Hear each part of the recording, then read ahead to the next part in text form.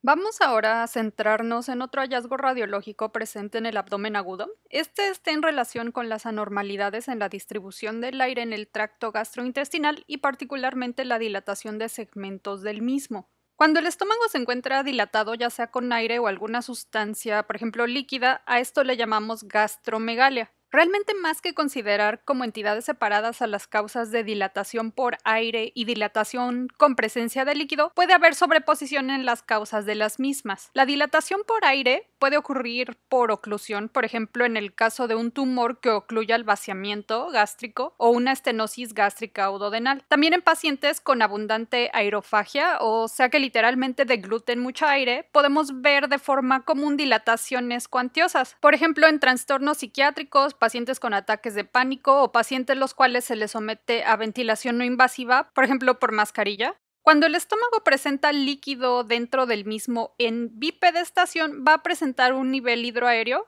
y podemos sospechar que la dilatación en estos casos es causada por oclusiones tumorales o estenosis secundarias a enfermedad ácido péptica. También en el caso de vólvulo gástrico, que en un momento les comentaré de qué se trata. En pacientes con diabetes mellitus 2 mal controlada, puede haber afección en el funcionamiento neurológico autonómico de la peristalsis y el vaciamiento gástrico, y estas alteraciones pueden llegar a causar dilatación gástrica en casos crónicos. A esta situación la conocemos como gastroparesia. La gastromegalia usualmente se observa como una especie de U localizada en el cuadrante superior izquierdo, la cual puede inclusive distenderse hasta el meso o hipogastrio e inclusive hasta la otra pared abdominal. Esta radiografía se tomó en decúbito, es por eso que podemos observar todo el contorno gástrico y aparte aquí atrás podemos observar el sistema colector y ureteros con presencia de medio de contraste intravenoso, que ya se está excretando. Aquí observamos otro caso de gastroparesia, más o menos el contorno gástrico está ocupando todo ese espacio. Aquí vemos la presencia de un nivel hidroaéreo, ya que esta radiografía fue tomada en un paciente que se encuentra de pie. En caso de vólvulos gástricos, la dilatación gástrica adopta formas y posiciones muy bizarras, ya que, por ejemplo, si el estómago gira en su eje largo, como vemos aquí, a esto le llamamos vólvulo órgano axial. Observen cómo inclusive podemos ver dentro de esta masa un nivel hidroaéreo que corresponde al estómago. Si el estómago gira en su eje corto, le llamamos vólvulo mesentero axial y este está en relación con este grupo de imágenes bastante bizarras que vemos aquí, inclusive con un nivel hidroaéreo en su interior.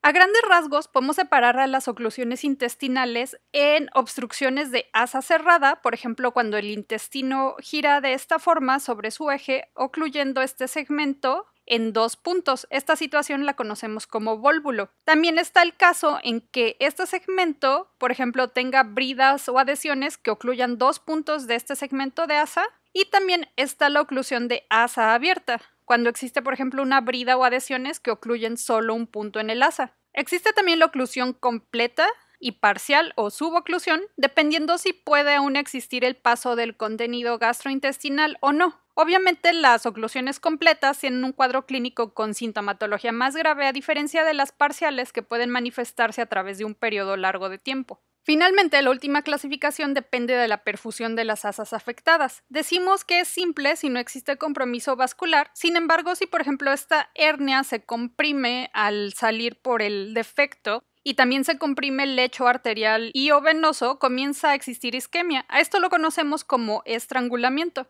Debido a la forma en que son irrigadas las asas intestinales a través de los vasos en el mesenterio, pueden ocurrir estrangulamientos en las hernias encarceradas o que son hernias que no podemos reducir o regresar a su lugar, vamos. También en los vólvulos puede llegar a ocurrir esto. El estrangulamiento es menos frecuente en otras situaciones que provoquen oclusión. La dilatación de las asas de intestino delgado es usualmente un evento patológico que principalmente puede tener como etiología la obstrucción mecánica o las fallas en la peristalsis Ah, y la falla en la peristalsis la conocemos como ilio. Vamos a hablar primero de las obstrucciones mecánicas. Con la obstrucción mecánica usualmente observamos distensión del tracto gastrointestinal previo a la lesión que provoque la oclusión. Por lo que entre más distal sea esta oclusión, por ejemplo en el ilion, veremos mucho más cantidad de asas distendidas si lo comparamos a una lesión que está localizada en el yeyuno proximal, por ejemplo.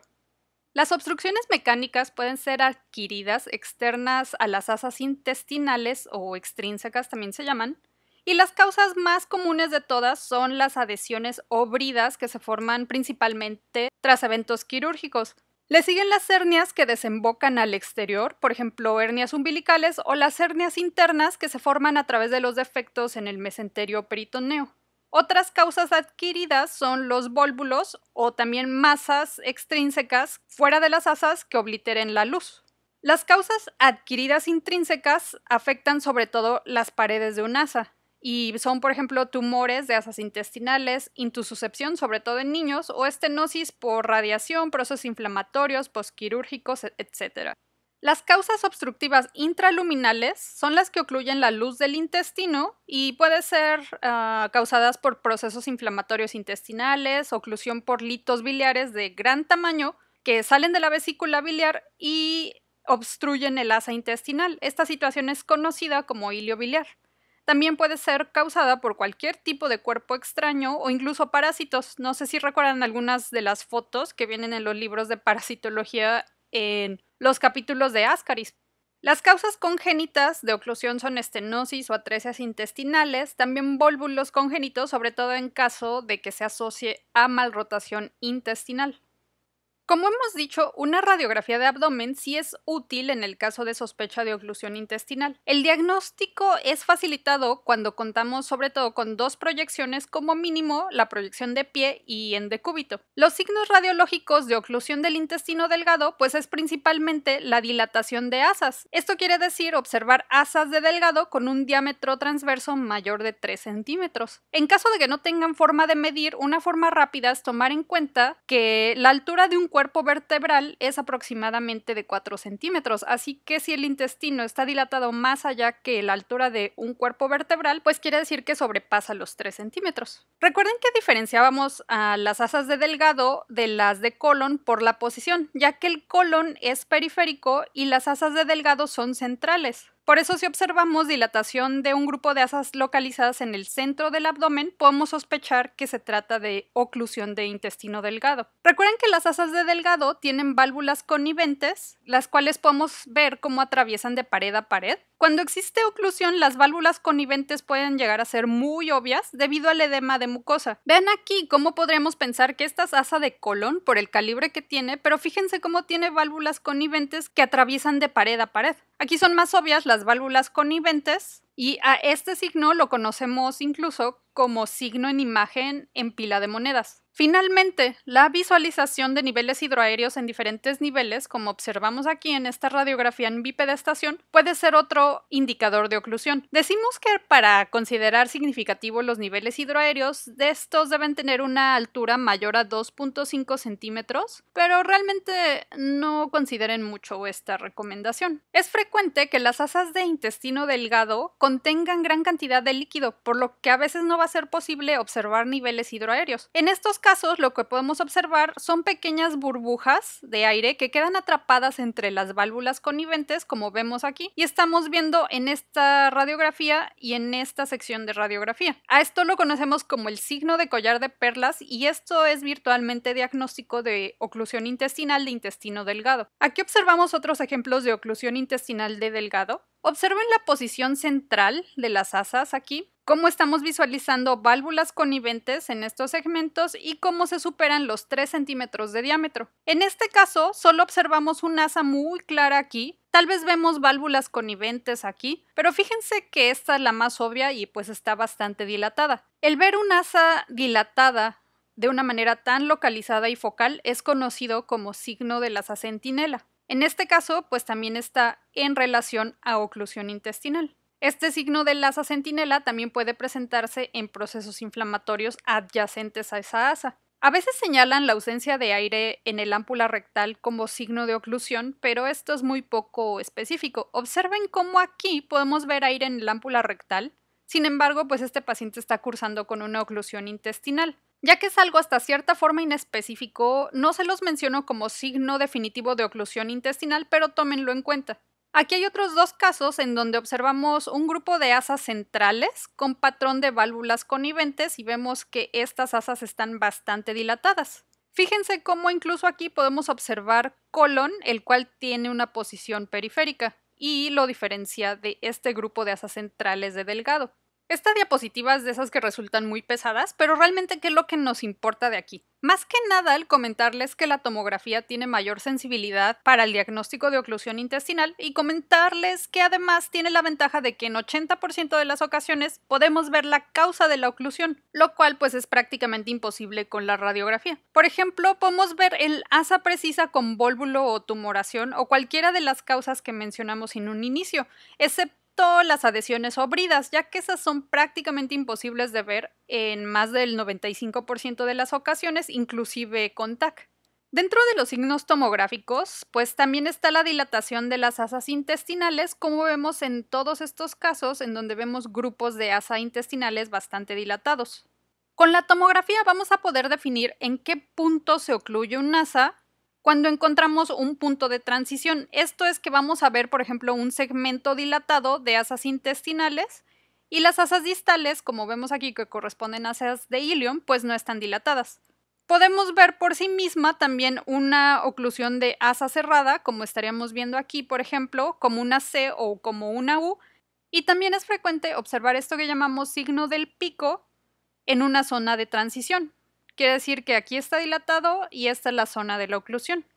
También podemos ver al mesenterio adquirir una especie de signo de remolino, como vemos aquí, o también un poco más discreto aquí, como los vasos del mesenterio forman como un pequeño remolino. Con la tomografía inclusive podemos definir la perfusión regional de las asas si el segmento de asas se encuentra engrosado y tiene alteraciones de su perfusión tras la aplicación de medio de contraste intravenoso, en el caso de que exista isquemia grave, podemos observar neumatosis de las paredes intestinales, como veíamos anteriormente. He visto con cierta frecuencia que existen radiólogos que sugieren que el paciente tome medio de contraste oral hidrosoluble para definir el sitio de oclusión, pero en oclusiones verdaderas esto puede ser más riesgoso para el paciente, por lo que considero en lo personal más importante la realización de un estudio con contraste intravenoso en vez de solicitar al paciente que tome medio de contraste porque realmente hasta cierta forma me parece contraindicado la ingestión de contraste oral, pero bueno, esto dependerá ya de su radiólogo. En radiología la división entre oclusión e hilio puede no corresponder a las clasificaciones clínicas, ya que verán que algunos autores dividen al hilio en hilio mecánico cuando, por ejemplo, hay alguna obstrucción mecánica o adinámico si es porque hay falta de peristalsis o incluso hay otro tipo de clasificaciones. Pero para fines simples vamos a considerar al hilio adinámico como la interrupción en la peristalsis habitual, como estamos viendo en esta animación. Y esto pues genera una dilatación de asas. Hasta la peristalsis se detiene y empieza a dilatarse por esa falta de peristalsis. La diferencia aquí es que no hay alguna causa obstructiva que esté causando esa dilatación de asas. El hilio adinámico puede ser generalizado o focal, esto último representado radiológicamente por el asa centinela que veíamos en las diapositivas anteriores.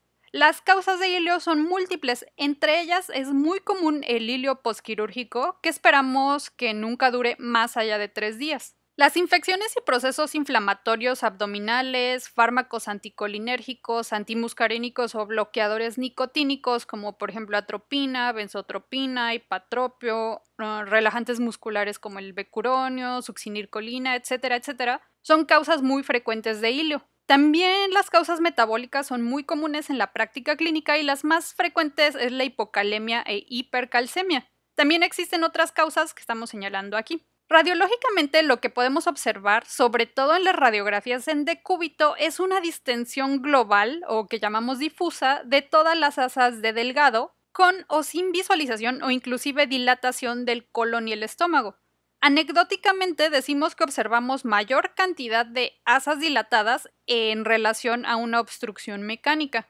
Decimos que predominan los niveles hidroaéreos al mismo nivel como estaríamos observando, por ejemplo, aquí en esta radiografía, que pues está en bipedestación, pero realmente no quiere decir que esto no lo podamos observar en oclusiones mecánicas.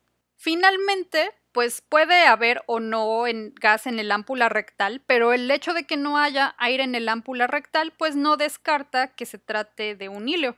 Observen cómo vemos dilatación periférica de las asas aquí y central, así que esto está en relación a dilatación de asas de delgado y colon, vean cómo estas son austras, ya que no atraviesan completo de pared a pared. Igual, en esta imagen estamos viendo dilatación de las asas centrales de delgado, de asas periféricas que corresponden a colon, e inclusive podemos ver aquí aire en el ámpula rectal. No es poco común que los clínicos nos pregunten que si una imagen corresponde a una oclusión mecánica o a un hilio, pero la verdad el contexto clínico es lo que nos ayuda muchísimo más. Nosotros no hemos palpado, no hemos escuchado ruidos peristálticos, desconocemos el curso clínico, comorbilidades o hallazgos de laboratorio, así que es más fácil si nos dan los datos clínicos y a partir de ahí partimos. Por ejemplo, en este caso observamos dilatación de este segmento de asas intestinales con niveles hidroaéreos a diferentes niveles y pues no podemos observar el colon de forma periférica. Es más fácil determinar un diagnóstico presuntivo final si me dicen que este paciente tuvo hace tiempo una colicistectomía, la cual se complicó y pues inclusive estamos viendo aquí material quirúrgico de aquella intervención. Y eso me haría pensar que una de las probabilidades es que sea, por ejemplo, una oclusión por bridas intestinales posquirúrgicas. Si me comentan que este paciente tuvo una apendicectomía hace dos días y que además de todo no se ha movilizado y está medicado con opiáceos, pues sospecharíamos entonces con mayor seguridad que estas imágenes están en relación con un hilio posquirúrgico o medicamentoso, por ejemplo. Además de tomar estos hallazgos en cuenta, lo que quiero que quede claro es que la clínica es una de las mejores herramientas para diferenciar entre oclusión mecánica e hilio adinámico y las imágenes pues prácticamente son solo un apoyo para confirmar sus sospechas. La dilatación del colon corresponde al 20% de las obstrucciones intestinales.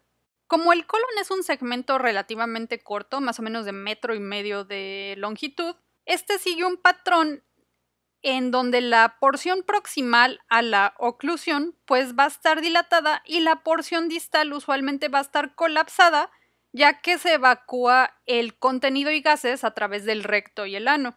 Las causas de obstrucción del colon son diversas y la causa más común es el carcinoma colorectal. También están las enfermedades inflamatorias que causan inflamación regional que pueden desencadenar estenosis y adherencias, como por ejemplo el caso de la diverticulitis o enfermedades inflamatorias como la colitis ulcerativa o enfermedad de Crohn. En adultos mayores sin movilización, la impactación fecal es una de las causas más comunes de dilatación en el colon. También son muy frecuentes las obstrucciones de asa cerrada como vólvulos. Recuerden la posición periférica de las asas de colon, por lo tanto, en las oclusiones colónicas observamos dilatación de asas que están localizadas sobre toda la periferia. En estas asas dilatadas observamos austras, las cuales son estas aculaciones de su pared que no atraviesan de pared a pared, de una forma completa, a diferencia de las válvulas conniventes. La dilatación de los diferentes segmentos del colon, recuerden que depende del segmento, básicamente si sobrepasa los 10 centímetros a nivel del ciego u 8 centímetros a nivel del colon ascendente, o si sobrepasa más allá de 5.5 o 6 centímetros en general, pues podemos estar sospechando de dilatación colónica. Pero repito que varía mucho dependiendo de la capacidad de distensión de cada segmento y de cada paciente. Existe una regla mágica, digamos, que se llama la regla del 369, que nos dice que el intestino delgado se puede distender hasta 3 centímetros, el colon se puede distender hasta 6 centímetros y el ciego puede distenderse hacia 9 centímetros. Esta es una regla pues bastante rápida para recordar los calibres de los intestinos. Aquí tenemos dos radiografías con oclusiones distales de colon. En esta imagen podemos ver dilatación de todos los segmentos del colon y no observamos aire más allá de esta sección de colon sigmoides bastante proximal. En este caso existe una dilatación extrema de todos los segmentos. Es hasta este segmento distal de colon en donde comienza a disminuir el calibre. Vean cómo podemos observar austras en las paredes de todo este grupo de asas dilatadas. Otros dos ejemplos más de oclusión del colon. En esta imagen podemos ver la dilatación del ciego, colon ascendente, colon transverso hasta el segmento distal descendente. Vean, no podemos visualizar gas en el ámpula rectal aquí. En esta otra imagen podemos ver la dilatación de todos los segmentos y fíjense cómo las asas dilatadas que están aquí abajo tienen válvulas conniventes o líneas que cruzan de pared a pared, por lo que esta oclusión pues está afectando tanto al colon como al intestino delgado o una sección del intestino delgado. Como dijimos, la causa más común de oclusión del colon en adultos es el cáncer de colon. Prácticamente casi la totalidad de los procesos malignos de colon son adenocarcinomas. En más de la mitad y hasta en dos tercios de pacientes, el cáncer de colon surge mediante esta vía que ya está bien establecida llamada secuencia polipocarcinoma, en donde en un colon normal ocurre disfunción del gen supresor de tumores, APC. Esto provoca pólipos colónicos que se consideran procesos neoformativos de riesgo. En caso de que ocurra activación del oncogen CRAS sobre este pólipo, comienza a ocurrir atipia celular y pues va a haber un aumento en el tamaño del pólipo. Esto va a formar un adenoma en el colon, el cual puede tener disfunción de genes supresores de tumores como P53 o DDC y se va a provocar la transformación hacia células malignas formando un carcinoma de colon. Es por eso que en pacientes mayores de 60 años es recomendable realizar colonoscopías profilácticas para la detección y resección de pólipos.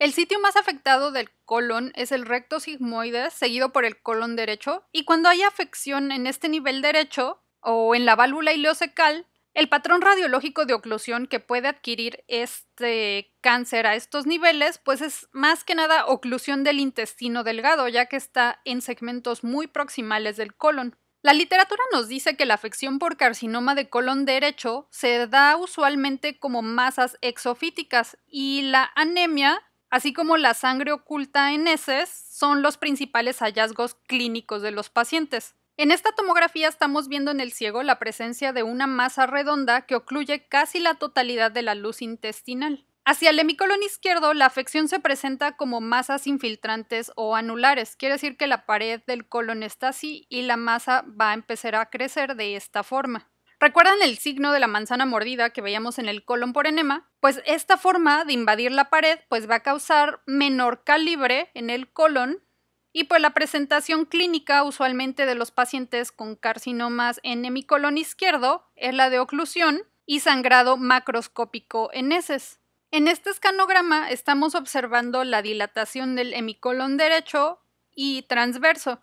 En el corte axial de tomografía con medio de contraste intravenoso de este paciente, observamos a nivel del ángulo esplenocólico la presencia de esta lesión que está infiltrando la pared del colon y está causando una disminución del calibre. En esta otra radiografía estamos observando la dilatación del colon ascendente, transverso, así como colon descendente. Este paciente ya tuvo un antecedente de resección de colon sigmoides, como observamos aquí material quirúrgico, y en su tomografía vemos que a nivel del remanente de colon sigmoides observamos este engrosamiento infiltrante de la pared que provoca una disminución en el calibre. Vean cómo aquí hay heces y a la porción distal pues únicamente estamos viendo aire. En el caso de carcinoma de colon, la TAC nos ayuda a definir realmente en dónde está la lesión y qué tanto ha infiltrado la pared o los órganos adyacentes también nos puede ayudar a ver si existen ya metástasis a ganglios linfáticos o a otro órgano como el hígado,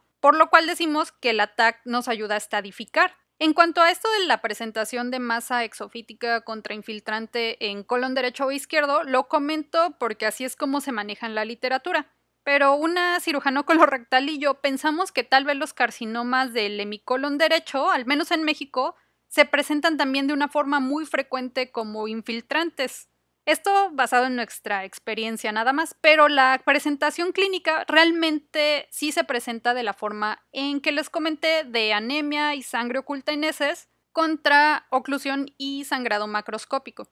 Otra causa de oclusión intestinal son los vólvulos del colon. Vólvulos se refiere a la torsión del colon cuando gira sobre su mesenterio y puede causar una oclusión intestinal de asa cerrada, completa o parcial. Los sitios de afección más frecuentes de vólvulos en el colon es en donde existen zonas donde el mesenterio tiene cierto grado de libertad de movimiento o donde el mesenterio es redundante, por ejemplo en el colon sigmoides y ciego.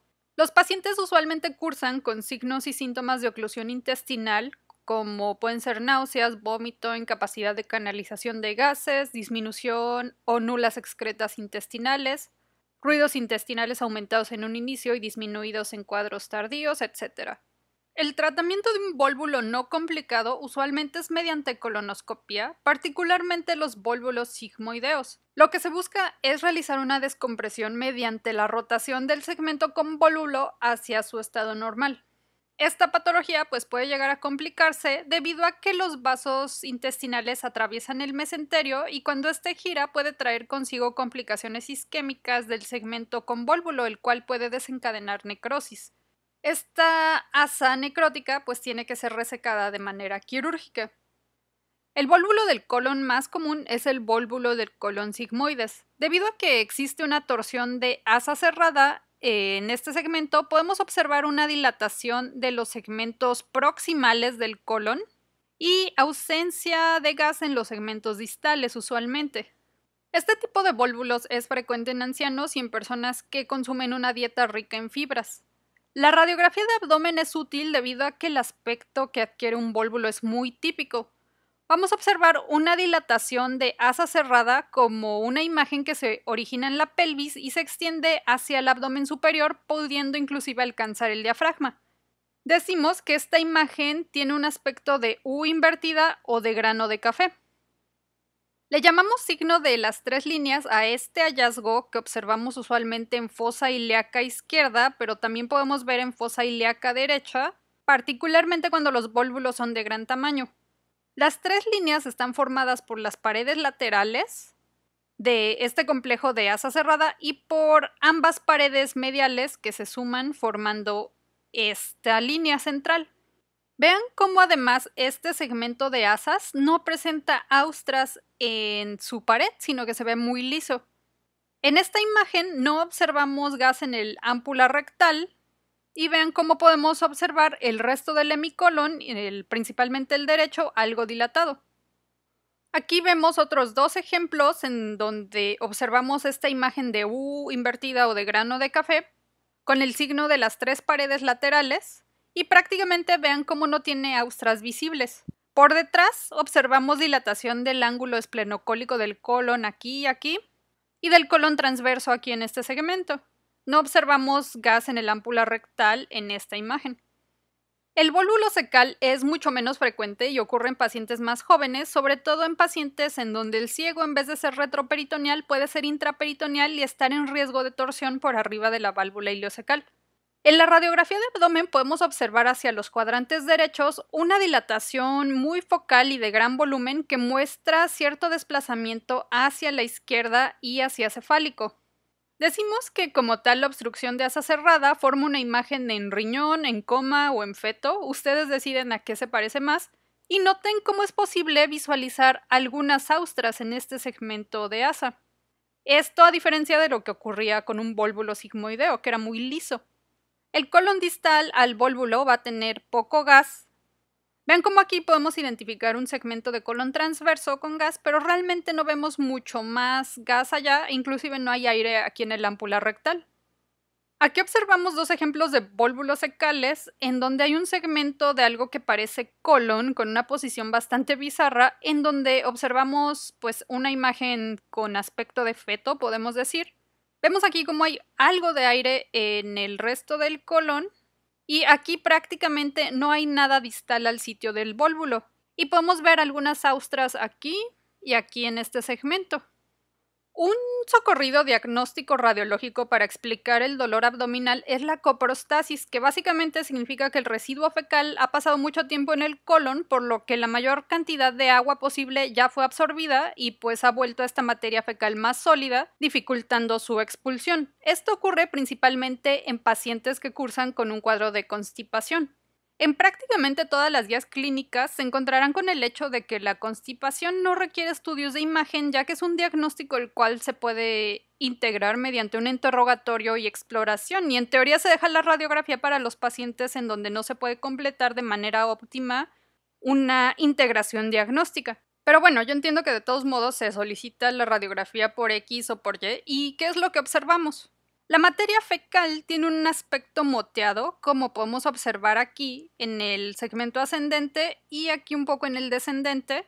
Inclusive a veces es posible observar masas dentro de los segmentos distales, particularmente en el hemicolon izquierdo, sobre todo en el colon sigmoides y, ámpula rectal. Vean cómo se observa esta especie de masas con forma como de guijarros. Aquí en estas imágenes nuevamente volvemos a ver estas imágenes en forma de guijarros o masas, aquí también, y este aspecto granular en el ámpula rectal que tiene todo este complejo de heces. En pacientes con estreñimiento crónico, particularmente pediátricos, es un hallazgo muy frecuente y muy asociado a infecciones de vías urinarias debido a la compresión del cuello vesical que puede llegar a provocar esto generando disfunción del vaciamiento vesical óptimo. El extremo más grave de la coprostasis es la impactación fecal, en donde las heces son tan sólidas que prácticamente forman un depósito obstructivo que puede inclusive cursar con cuadros de oclusión intestinal severos. Son situaciones frecuentes en pacientes inmóviles o institucionalizados, como los pacientes en casas hogar para edades muy avanzadas, pacientes con alteraciones psiquiátricas o inclusive es común en ciertos rasgos de personalidad. Lo que observamos es a lo que personalmente le llamo como un peñasco de materia fecal que conocemos como fecaloma, el cual se observa usualmente en el ámpula rectal con extensión proximal y créanme que puede llegar a tener una gran gran extensión. Si este fecaloma adquiere gran tamaño, puede llegar a comprimir las paredes del colon y recto, causando isquemia del mismo y abdomen agudo, y a esta situación la conocemos como colitis estercoral. Observen en esta tomografía axial como en el ámpula rectal está completamente lleno por materia fecal y aquí lo podemos ver también en reconstrucción sagital cómo está comprimiendo la vejiga. En dos ocasiones que he visto impactaciones de este grado, los clínicos no creyeron que fuera una impactación lo que palpaban, ya que el paciente les comentó que seguía evacuando, pero resulta que las evacuaciones eran muy líquidas y de muy bajo volumen. Así que tomen en cuenta que pueden existir ultrafiltrados, por así decirlo, de evacuaciones, pero esto no significa que realmente estén evacuando y que eso sea una evacuación normal. Vamos a ver ahora situaciones en donde se dilata el colon sin que necesariamente exista alguna situación que obstruya el colon, sino que realmente hay alteraciones en la peristalsis del mismo y estas situaciones las conocemos como megacolon. En pacientes pediátricos existe esta condición en donde de forma congénita existen segmentos distales del colon con ausencia de ganglios mientéricos de Auerbach. Esta situación la conocemos como síndrome de Hirschsprung. El colon proximal sí posee ganglios, y este se dilata. En un estudio de colon por enema podemos encontrar este tipo de imágenes con la zona de transición entre las regiones que sí tienen ganglios mientéricos y las regiones con ausencia de ganglios mientéricos. Otras dos situaciones de megacolon son más comunes en pacientes adultos y vamos a detallar un poco más en ellas. Una es en el caso de la ausencia aguda de peristalsis en el colon que conocemos como síndrome de Ogilvy o megacolon agudo y la otra es el megacolon tóxico. El síndrome de Ogilvy también es conocido como pseudoobstrucción o pseudooclusión aguda del colon. Es pseudo porque, como les mencioné, en realidad no existe alguna causa mecánica que esté causando esta dilatación. Aún las causas no están totalmente definidas, pero se ha sugerido que se debe probablemente a un desequilibrio en el sistema nervioso autonómico en donde existe pérdida de la peristalsis colónica que desencadena una dilatación masiva del colon, pero recuerden que no existe alguna alteración anatómica obstructiva. Generalmente afecta a pacientes adultos mayores o encamados y está asociada a la ingesta de medicamentos anticolinérgicos, enfermos críticos, desequilibrio hidroelectrolítico o cirugías recientes. Prácticamente comparte asociaciones con el hilio adinámico. Por imagen podemos encontrar dilatación de todos los segmentos del colon. Las medidas podríamos decir que superan 6 centímetros en colon o 10 centímetros en el hemicolon derecho de pared a pared pero realmente tenemos que integrar el contexto clínico de una gran distensión abdominal con ruidos intestinales hiperactivos o normales y este patrón tan evidente de dilatación en todos los segmentos del colon. Estamos observando aquí esta radiografía como tiene todos los segmentos de colon ascendente, transverso y sigmoides con una gran dilatación. Este es un escanograma que es una especie de radiografía que se toma en un tomógrafo en donde nos sirve para señalar desde dónde a dónde queremos tomar nuestra tomografía. Aquí estamos viendo esta gran dilatación de una asa periférica que corresponde al colon. Aquí observamos dos cortes de tomografía con medio de contraste intravenoso en ventana de tejidos blandos y ventana pulmonar, en donde observamos esta gran dilatación de asas anteriores que igual corresponde al colon. Si hicieran una colonoscopia de este paciente, no encontrarían alguna alteración anatómica realmente que explicara esta dilatación. Por lo que si ustedes colocan una sonda de descompresión rectal, esto es bastante útil para los pacientes. La dilatación del colon cuando existe toxemia sistémica la conocemos como megacolon tóxico. Esto de toxemia lo escucharán también como el término que se utiliza en preeclampsia y eclampsia en el embarazo, pero aquí entendemos como toxemia o estado tóxico al estado clínico que adquiere un paciente tras la activación de mecanismos de defensa contra las toxinas producidas por bacterias o por lesión de tejidos celulares. En el megacolon tóxico va a existir una pérdida del tono del colon con una dilatación de todos los segmentos o alguna porción muy focal del mismo. Debido al riesgo de perforación que existe con el megacolon tóxico, tiene una mortalidad alta más o menos del 20%. Usualmente es una complicación de colitis ulcerosa crónica inespecífica o CUSI, también del proceso infeccioso generalmente causado por Clostridium difficile en las colitis pseudomembranosas, las cuales, por favor recuerden que es una complicación del mal uso y altas dosis de antibióticos, particularmente beta-lactámicos como penicilina, cefalosporinas, también puede ser causado por algunas quinolonas. El megacolon tóxico también puede ocurrir por algún otro tipo de infecciones o colitis isquémica. La diferencia con el síndrome de Ogilvy es que el paciente va a tener marcadores clínicos y de laboratorios que indiquen toxemia, por ejemplo, elevación de reactantes de fase aguda, leucocitosis, anemia, fiebre, etc. Radiológicamente podemos observar la dilatación de los segmentos del colon con borramiento de las austras Recuerden que esto podía ser un indicador de importante edema de pared o colitis en el colon, colitis real. En esta radiografía podemos observar también engrosamiento de las paredes, sobre todo del colon transverso. Aunque el colon solo tenga una dilatación leve, por ejemplo que apenas si sobrepase los 5 centímetros, pero ya haya cambios en la mucosa, hay que sospechar de megacolon tóxico. Por ejemplo, en esta tomografía vean cómo la pared es bastante irregular y se encuentra engrosada. También aquí en esta reconstrucción coronal, vean cómo está bastante engrosada la mucosa y muy irregular. Pues aquí ya podemos sospechar en el contexto clínico de toxemia sistémica que probablemente se trate de megacolon tóxico. El riesgo de perforación lo sospechamos cuando el colon llega a calibres mayores de 9 o hasta 12 centímetros.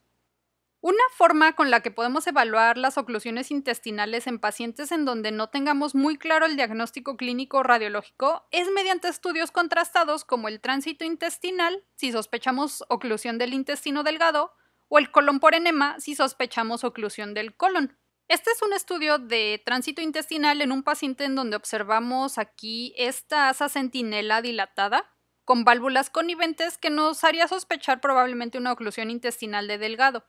Pero ante las dudas en el diagnóstico se llevó a cabo un tránsito intestinal en donde observamos las radiografías que se obtuvieron a 5, 11 y 16 horas tras darle al paciente medio de contraste.